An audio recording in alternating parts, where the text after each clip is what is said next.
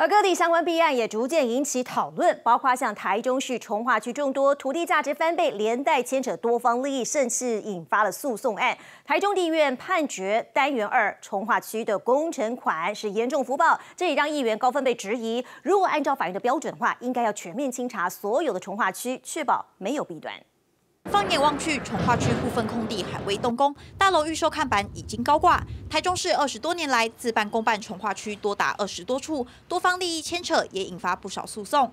法官认定，台中单元二从化区每公顷的工程费应该是九百二十二万元，与实际的一千七百七十一万元相比，严重福报，质疑藏有弊端。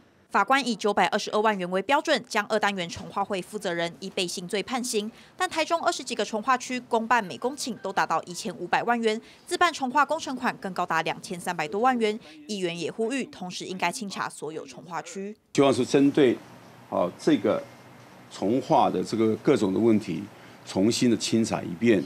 我们希望能够公平公正，好，不管是前几任的市长有涉及到。